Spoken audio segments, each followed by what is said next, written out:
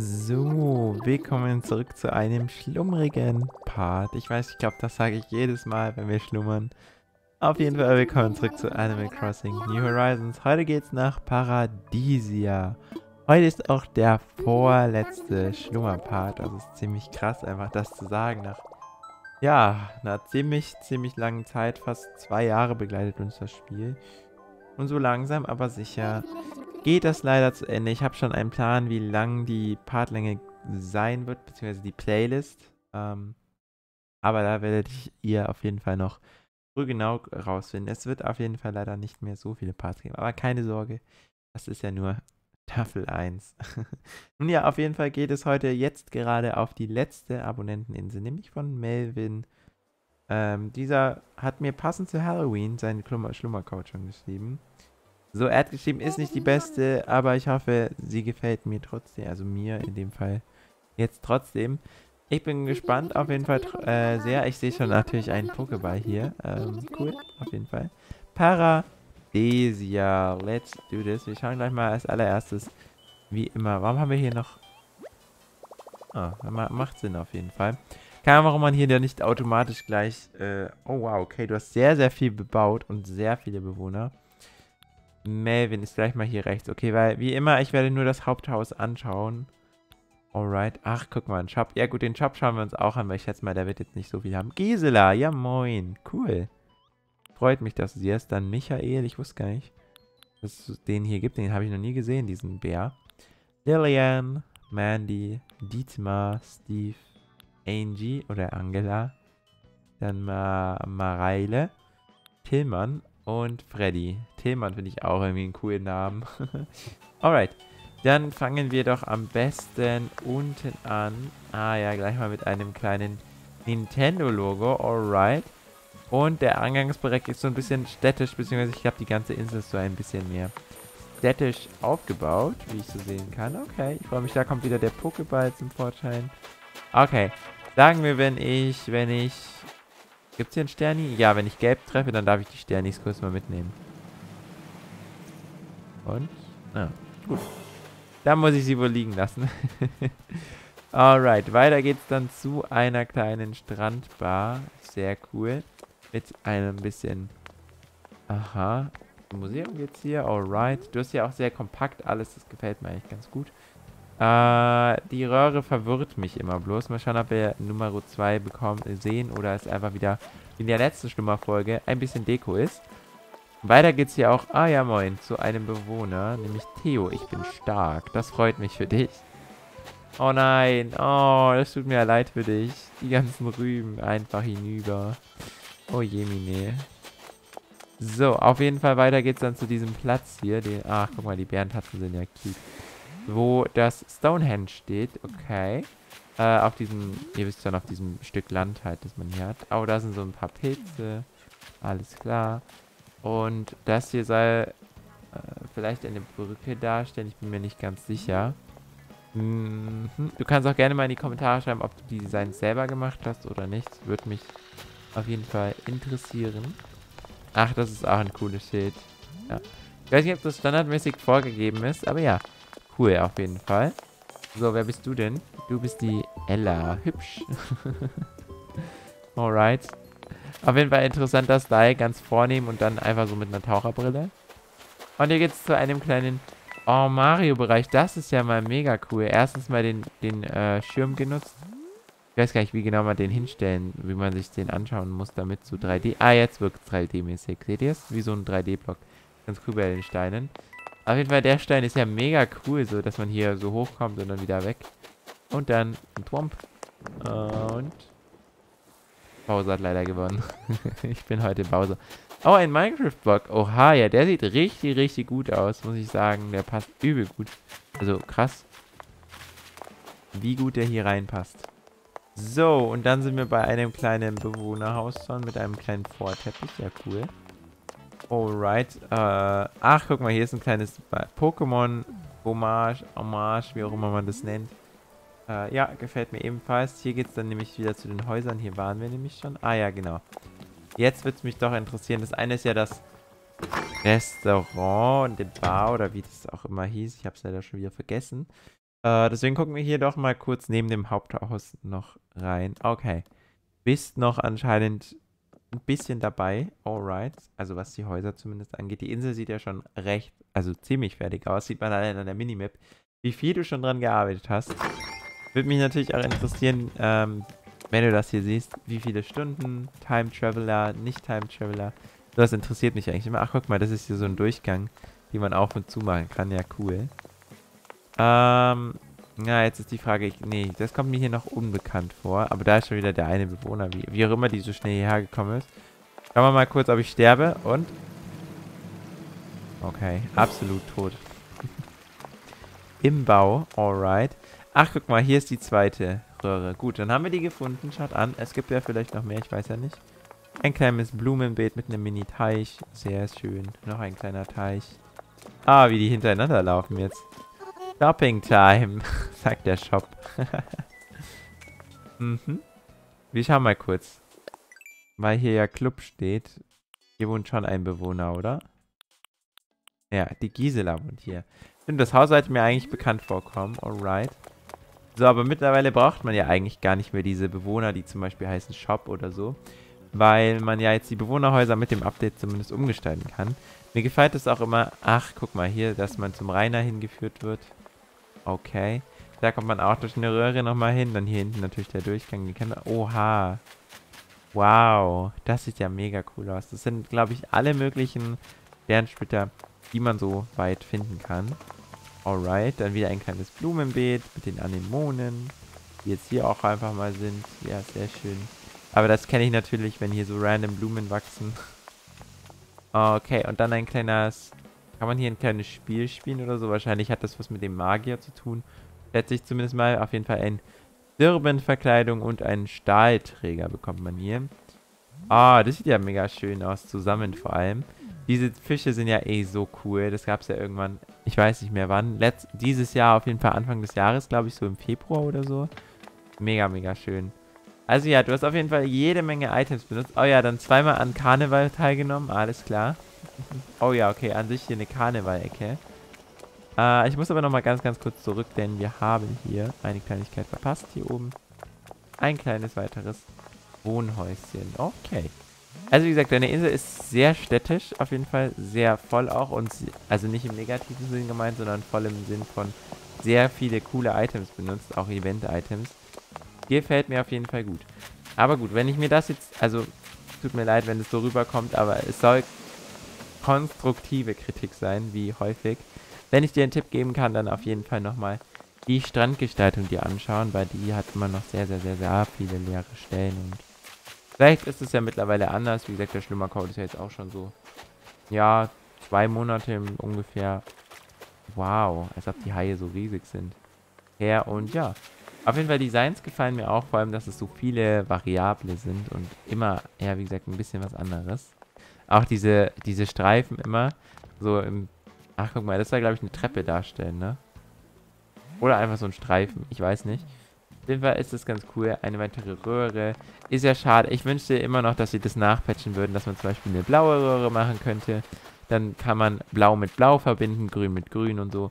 Aber ich glaube, das ist Nintendo einfach zu hoch, ehrlich. Ach, guck mal, und diesen Weg hier haben wir gar nicht gesehen.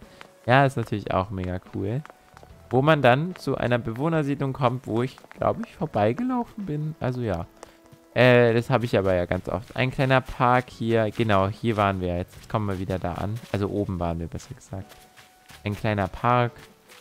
Alright. Ja, auf jeden Fall echt cool muss ich sagen, gefällt mir. Und hier gibt es einen Sprungstein. Ja, tatsächlich. Zu dem, alles klar, hier hinten waren wir noch nicht. Aber sonst, glaube ich, waren wir mittlerweile ein kleines Kürbisfeld. Äh, überall, wenn ich mich nicht täusche. Also klar, wir waren noch nicht im Haus, ist ja logisch. Das sollte jetzt aber, wenn ich die richtige Erinnerung habe, genau das hier unten sein. Ach, hier ist der Campingplatz, genau. Wie gesagt, alles sehr zentral. Oh, und da möchte ich doch gleich mal... Ich hoffe, ich kann mich... Ne, ich glaube, ich kann mich da leider nicht hinstellen. Nee. Dann tut es mir leid. Ich hätte mich gern als Werk oder was auch immer das ist, verkleidet. so. Dann da unten ist noch ein kleines japanisches Haus. Alright. Ich würde jetzt gerne den Weg zum Strand finden, aber da finde ich den nicht. Ja, also Es gefällt mir sehr, auf jeden Fall. So einen Typ von Insel habe ich schon länger nicht mehr gesehen, deswegen freut mich, dass ich sowas wieder sehe. Mal wieder. Also so ein städtisches Ding mit allen möglichen Items einfach. Wobei ich persönlich, also es ist ja nur meine persönliche Ding, es kann ja gut sein, dass dir, dass dir das äh, am besten so gefällt, dann macht das gerne auch so. Geht jetzt an jeden. Äh, auf jeden Fall. Oh, interessantes Wohnzimmer. Aber ich persönlich mag ja gerade zum Beispiel, also mein, meine Insel hat ja auch nicht so ein wirkliches Thema, meine Güte, ich verhaspel mich hier. Aber jetzt im Nachhinein würde ich doch lieber so ein Thema bevorzugen. Aber wie gesagt, das ist ja jedem selbst überlassen. Oh, wow. Eine riesige Fernsehecke. Mega cool. Auch hier im Schwarz-Weiß-Design gehalten alles. Alright. Achso, ich dachte mir gerade zwei verschiedene Sounds. Wie geht das? Nein, äh, das liegt einfach nur daran, dass der Fernseher läuft. Dann natürlich noch ein fetter Server, alles klar. Wohnzimmer gefällt mir auch, das ist einfach so all in all, einfach so, keine Ahnung, alles, einfach alles in allem. Ganz schön cool. Gut, dann würde ich sagen, auch cute Teppiche. Der Teppich ist ja mega hübsch. Oha. Der sieht auch richtig edel aus, ne? Wenn man so ein edles Zimmer mal will, den würde ich empfehlen, auf jeden Fall. So, dann komme ich hier zu einem etwas bunt, bunteren gehaltenen Zimmer, alright, mit ein paar Scheinwerfern. Wo man auch wieder Fernseher schauen kann, wenn man will. Okay, ich kann es nicht, das geht nur, wenn er einen Schlummercode an war, alles klar. Nimm Gym, einen kleinen... Achso, jetzt verstehe ich die Abtrennung. Hier ist ein kleines Gym. Und hier ist einfach so eine Chill-Ecke, so eine Hobby-Ecke. Ich weiß nicht, ob das deine Intuition war. Das war jetzt aber mal meine Interpretation, sage ich mal. Gut. Dann tatsächlich haben wir jetzt mal bei den Räumen angefangen, die ich sonst immer als allerletztes mache. Aber ist ja eigentlich auch egal, in welcher Reihenfolge wir das Ganze machen. Wir machen weiter mit dem linken Zimmer. Und wie gesagt, danach schaue ich aber mal. Ah, jetzt aber auch ganz klar ein Badezimmer. Vorsicht, Rutschgefahr. ja, richtig schön. Ah, dieses Muschelding gefällt mir auch richtig gut, der Teppich. Wow. Ich glaube, den habe ich sogar. Ja, den sollte ich eigentlich auf jeden Fall haben. Aber ja. Wie gesagt, er gefällt mir auch schön. Also er ist echt schön so. So, alright. Dann hier der, der Stab vom, vom, vom, vom Osterevent. oh Mann, oh Mann. Bin heute schon wieder ein bisschen schwer vom Begriff. Keine Ahnung, bin ein bisschen müde. Oh mein Gott. Hilfe, Os. Hilfe. ich gehe mal wieder wieder. Os. Aber hey, ein Osterzimmer, das natürlich auch bei der Akademie des Schönen Hauses einem extrem viele Punkte einbringt. Dann kann ich es gut verstehen, auf jeden Fall. Und es ist einfach so wunderbar farbenfroh, ne? Wenn man das mag, dann ist das mega cool. Ich habe einfach nur Angst vor dem Mo. gut. Und dann hier noch eine Küche. Alles klar. Auch mehr so im Holz-Style gehalten. Ähm, genau. So ein bisschen Blech. Alles klärchen. Ja, cool. Kannst mir gerne auch mal deine Ideen von den einzelnen Zimmern schreiben, ob ich das richtig verstanden habe, so wie es ist. Aber gut, ich denke mal, damit haben wir tatsächlich schon den Großteil, beziehungsweise ich hoffe zumindest das allermeiste dieser Insel gesehen. Und ich würde sagen, das war die letzte Abonnenteninsel. Wir schauen uns aber natürlich heute noch eine weitere ganz, ganz coole Insel an, die mich einfach über interessiert. Und Bau, Haus in Bau. Ach so, okay. Ja, cool. Solche Zettel sind ja immer ganz witzig. Genau, wenn wir jetzt hier wieder beim Eingang sind, dann hoffe ich doch mal, wenn wir uns nochmal die Karte angucken, dass wir so ungefähr überall waren. Ja, an die Brücke kann ich mich erinnern, an die Sprungsteine, dass ich unten und oben war. Ja, ich sehe auch, by the way, gerade, dass du den Fluss auch so ein bisschen, ähm, so wie ich halt versucht hast, ähm, beizubehalten oder sogar komplett beizubehalten. Also ich mag die Idee ja auf jeden Fall auch sehr gerne. Gut, aber jetzt würde ich sagen, es geht ab zu einer nächsten Insel. Aber jetzt gucken wir erstmal, was wir bekommen. Okay, leider gar nichts. Ab auf die nächste. So, und damit sind wir auch schon auf dem Weg zur zweiten Insel. Einer ganz, ganz schönen besonderen Insel, muss man sagen. Nämlich gehört diese Insel Loop Isle. Keine Ahnung, ob das richtig ausgesprochen wird. Genauer gesagt ist das, wie gesagt, ich habe ja vorher schon gesagt, das war die letzte Abonnenteninsel. Und das hier ist die Insel von wir haben uns schon mal die offizielle Nintendo-Insel angeguckt und das ist jetzt die offizielle Insel von H&M. Was ich ziemlich interessant finde. Und ja, ich freue mich drauf. Äh, da sieht man auch eine ganze Kollektion von H&M.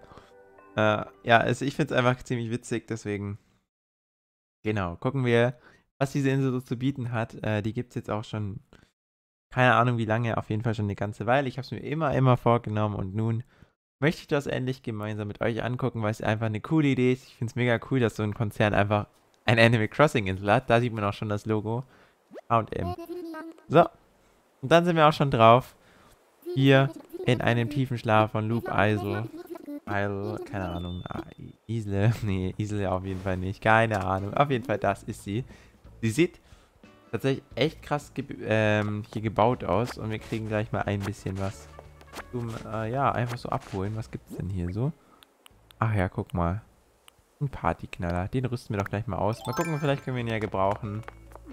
Ich muss sagen, by the way, ich fell... Ja, ich gewöhne mich so langsam an diese Frisur und finde ich kein, bin ich kein Fan. Auf jeden Fall schauen wir uns diese Insel jetzt einfach mal an. Es gibt, ich glaube, wenn ich mich nicht täusche, dann kann man auch nicht überall hier auf der Insel rumspazieren, aber das werden wir alles noch herausfinden. Hier ein kleines Café erstmal. Dann kann man hier nach oben gehen. Zum, ähm, Museum, genau. Das ist hier, wie man sehen kann, nicht einmal ausgebaut, weil die Insel halt einmal kreiert wurde und dann halt auch nicht mehr, aber ich finde das auch voll in Ordnung und es passt auch so. Oh, keine Bienen catchen. Das ist ein cooles äh, Ding einfach. Richtig schön. Okay, dann geht es hier zur Schneiderei. Da kann man ein bisschen H&M-Fotos machen. Da kann ich euch auch mal was zeigen. Und zwar gibt es jetzt seit dem Update eine neue Kameraposition. Nämlich, es gibt ja diese vier Dinge. Eins, zwei, drei und vier. Wenn ihr die dritte macht und dann noch so macht, dann schaut mal diese weite Kameraposition an. Das ist ja so. Ich liebe sie einfach. Wenn man jetzt ja hier vibet, dann kann man ein cooles H&M-Foto machen. Genau. Also das ist eine richtig coole Kameraposition, die ich auf jeden Fall empfehlen kann und die mal empfehlenswert ist, auch sich anzugucken. So. Dann gibt es hier eine kleine Strandbar und wortwörtlich eine Strandbar, denn dieses führt uns auch hier auf dem Strand. Oha, sogar mit Freeze-Bäumen. Also ja, krass, was da alles hier drin steckt an Ideen. Die wir halt sogar alle benutzen als aktive Animal Crossing-Spieler, ne? So. Ich bin gerade noch ein bisschen überfordert, deswegen renne ich hier nochmal ganz, ganz kurz durch. Okay, wir merken uns, wir sind beim Laden stehen geblieben. Und gehen jetzt nochmal den Strand entlang. Das ist halt eine Basic-Strand, äh, äh, die, die einfachste Strandgestaltung, die man eigentlich machen kann. Die einfachste halt, die richtig schön auch ausschaut, finde ich. So, ach guck mal, das war jetzt auch, glaube ich, ziemlich symmetrisch sogar. Und hier kommt man dann in Richtung äh, Häuser, auch hier oben mit dem Leuchtturm, man kennt es natürlich. Und ja, dann ein Einserweg. Das kennt man zum Beispiel so gar nicht, ne? Ah ja, krass. Hier die Bewohnersiedlung. die sind leider alle eingesperrt in ihrem Haus. Ach, guck mal. Da wird hier der Zaun... Oh, benutzt wie so ein... Ich pack's mal lieber weg. Oh, sie ist ja eh so cool. Ich glaube, sie heißt Etoile oder so. Wie so ein Gartentor. Aber leider ist das ein Zaun, der sie einsperrt. Gut, dann würde ich jetzt sagen, weil wir jetzt ziemlich weit oben sind, dass wir jetzt mal zum Campingplatz hochrennen. Genau, hier. Sieht es auch immer Nachhaltigkeit in Form von H&M setzt jetzt auf Nachhaltigkeit und so. Finde ich ziemlich cool. Und wow, ich wusste gar nicht, dass sowas möglich ist. Das ist cool. Immer ein H&M-Zeichen. Auch hier wunderbar. Oha, schaut es euch an. Ich, ich keine Ahnung, warum mich eine Blumenwiese so beeindruckt. Aber ich finde es einfach cool. Was soll ich sagen? so. Genau, dann auch nicht fischen, beziehungsweise nicht überfischen, wollen sie damit wahrscheinlich sagen. Nicht zu viele Bienen und so catchen. Eine wunderbar riesige Blumenwiese. Wow, also was die für einen Eindruck vermitteln kann, so eine riesen Blumenwiese. Und dann kommt man hier wieder auch genauso runter, wie man hochgekommen ist. Alright. So. Na gut, dann sind wir jetzt wieder in Richtung Museum. Genau, hier waren wir ja schon. Perfekt. Das heißt, wir kommen hier irgendwie zurecht. Ja, perfekt. Oh, das ist ja jetzt super aufgegangen. Ich möchte nur, upsie, kurz mal gucken, ob wir denn hier jetzt alles gesehen haben. Ah, ne, guck mal, wir waren jetzt da nicht über dem Museum. Beziehungsweise seht ihr da, wo so viele Punkte sind. Äh, ja, nördlich vom Museum. Genau, und wir haben uns auch noch nicht die Bewohner, nämlich Pascal. Ach, guck mal, da müssen wir später auch nochmal vorbeischauen, wenn wir alles gesehen haben. Monika, Natascha, Konrad, Bill, Quentin, Michelle, Rolo, und wie heißt sie jetzt? Etoile tatsächlich. Und Tobi ist ja auch von den Sanrino. Wally und auch Bill, das sind ja die Bewohner. Alright. So, und jetzt schauen wir eben hier weiter. Gibt es so einen kleinen Wochenmarkt anscheinend. Oh, mit dann sogar eine Hundehütte. Nee. Absoluten Brunnen und keine Hundehütte. Alright. Aber ja, gefällt mir ebenfalls. Ein kleines Blumenbeet, dass man hier auch so viel betreten kann. Und dass eben mit Einserwegen gearbeitet wird, das ist ja wirklich extrem selten. Okay, da kommt man, glaube ich, jetzt gar nicht rüber, leider. Wegen Bauarbeiten geschlossen. Dann ist dieser Bereich wohl noch der Natur überlassen. ist aber eigentlich auch eine ziemlich coole Idee, um halt so zu sagen, yo, ich habe da noch nicht gestaltet. Ja, ne, also äh, kommt mal bitte nicht hierher. genau, dann hier kommen wir wieder hier hin. Aber ich suche jetzt gerade, genau, wir müssen, glaube ich, hier durch. Und da unten wird jetzt irgendwo das Haus. Ey, ich bin, ich bin verwirrt. Weil Einserwege, na klar, wir haben jetzt hier gerade keinen Einserweg. Hier ist sogar ein Dreierweg, ja krass. Äh, aber trotzdem ziemlich interessant, wie gesagt. So, hier, genau, das ist ja dann auch das Haus, das wir uns später anschauen. Aber hier geht es jetzt gleich noch irgendwo nach links, wo wir eben noch nicht waren. Genau, hier die Bewohnersiedlung, die haben wir uns ja schon angeguckt. Und nun geht es noch hier, Moment. Wenn wir hier einmal uns durchkämpfen, auch eine echt große Bewohnersiedlung. Hier nach links weiter. Auch so ein kleines äh, Haus. Ähm, das kann man ja mittlerweile mit den 2.0 Updates viel besser umgestalten. Er hat auch ein recht großes Bildschirm. Äh, ähm, genau, recht großes Bildschirm. Nee, ein recht großes Grundstück. Okay, dann gucke ich jetzt erst allererstes mal. Ach, guck mal, hier kann man sogar einmal um den Teich. Sehr cool. Und dann kommt man... Ah ja, hier wird wieder mit dem Schirm... Krass, wie viele damit arbeiten. Ah ja, hier ist so ein kleines... Ein kleines äh, Feld einfach nur. Schaut mal, hier wird wieder gearbeitet mit dem Schirm. Ich finde das auch mega cool. Einfach, ähm, das soll so ein Obstkorb sein. Es ist einfach schön. Ich mag das Design mega gerne. Vielleicht mache ich davon auch nochmal ein kleines, feines Foto. Kommt das so auch noch gut rüber? Ja. Na dann, äh, würde ich sagen, es wird Zeit, dass wir uns... Ah ja, hier steht auch eins. Hab ich, hab, ist mir gerade gar nicht aufgefallen. Ich glaube, wir haben tatsächlich alles gesehen. Das wird ein recht kurzer, schlimmer Part tatsächlich. Weil wir die Inseln doch schneller gesehen haben als gedacht. Aber das ist ja auch nicht so tragisch. So. Achso, da geht's gar nicht weiter. ich dachte gerade, so, wo soll ich jetzt lang? Und dann ist mir aufgefallen, ja. Hm. Anscheinend gibt es nur diesen einen Weg. Gut, und jetzt kommen wir, wie gesagt, noch in das Haus. Ich habe mir mal hier ein Part so angeguckt. Ich hatte es erstens mal ganz anders in Erinnerung. Muss ich mal sagen. Und zweitens weiß ich jetzt gar nicht, wie das Haus mehr ausschaut. Deswegen ist es umso cooler, dass wir uns da jetzt reinschauen können. Alright. Also hier ist erstmal so ein bisschen businessmäßig von H&M. Ach, guck mal. Es gibt hier auch nur äh, drei... Nee, was sag ich eigentlich? Vier Räume. Genau, hier ist erstmal der Business Room, so mit Wartebereich. Ah ne, das ist wahrscheinlich so für die Mitarbeiter zum Entspannen. Hier können die arbeiten. Und natürlich auch wieder das Logo auf der Tasse. Oh, das ist richtig clean auf der Tasse. Wahrscheinlich, weil es so klein ist. Da auch gerade noch ein Telefon. Gut. Dann gehen wir mal hier in den äh, Raum, der noch im Hauptraum hier ist. Das ist eigentlich auch ganz cool, wenn man sein Haus nicht ganz ausgestaltet, weil dann hat man halt viel mehr Möglichkeiten.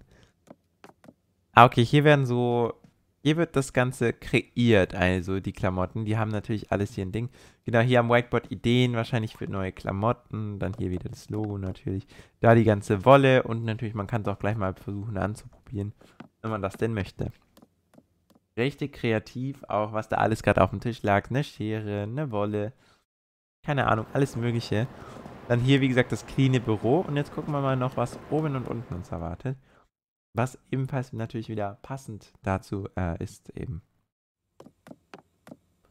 Okay, hier ist so ein kleiner Erholungsbereich, was jetzt nicht unbedingt was mit H&M zu tun hat. Nicht mal mit Logo. Oho, ein Raum ohne Logo. Aber das ist ja cool. Das erinnert mich irgendwie, wie wenn man so Schallplatten an die Wand hängt irgendwie. Vielleicht soll die das auch sein, ich weiß es nicht. Oh ja, der Bücherstapel auch. Wieder ein helles Design, gefällt mir richtig gut. Und nun wartet noch der Keller auf uns. Okay, da bin ich jetzt nochmal gespannt. Naja, ob wir vielleicht nochmal was finden können. Eine Nuance an H&M oder eben doch einfach eine ganz normale Hausgestaltung. Aber ja, wie gesagt, ich finde das mega cool, wenn Firmen sich sowas machen. Deswegen wollte ich auch auf jeden Fall euch nochmal drauf aufmerksam machen, dass ihr euch diese vielleicht anders ah, auch noch anschauen könnt. Ah, I see. Jetzt, genau, von so einem Raum habe ich geredet. Guckt mal die Beleuchtung hier an. Das ist der H&M-Laufsteg. Hier sitzen anscheinend so die. Entweder sind es die Models oder es sind die Leute, die. Nee, nee, nee, guck mal. Ah, ist das cool, guck mal. Das Outfit trägt sie hier, glaube ich. Nee, das sind. Aber ja. Auf jeden Fall mit Custom Design haben die ihre neueste Kollektion. Ich glaube aber, das war tatsächlich schon die vom letzten Jahr. Also nicht mehr die neueste, aber Mai war es die neueste Kollektion. Hier in Custom Designs eingeführt.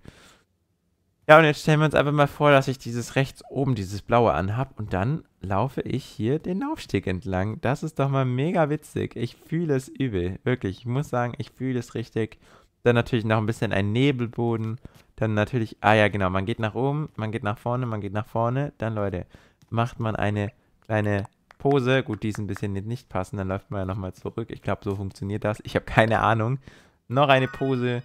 Und natürlich zu guter Letzt für die maximalen Fotos gibt es nochmal ein äh, Bitte lächeln. Ja. Yeah. Sehr cool. Und damit man auch die Fotos zu spüren bekommt. Äh, was ist das denn? Oh, bitteschön, habe ich doch, hä? Achso, ich dachte, das ist ein neues. Nee, wo ist denn das jetzt? Ähm, Muskelspiel. Eieiei. Jawohl. Ja, okay, Leute. Gut, aber ich würde sagen, das war doch mal ein schöner vorletzter Schlummerpart. Wenn er euch gefallen hat, dann zeigt mir das auf jeden Fall gerne mit einem Abo und einem Like. Würde mich sehr freuen. Und dann sehen wir uns in einer neuen Folge von Animal Crossing New Horizons schon bald wieder.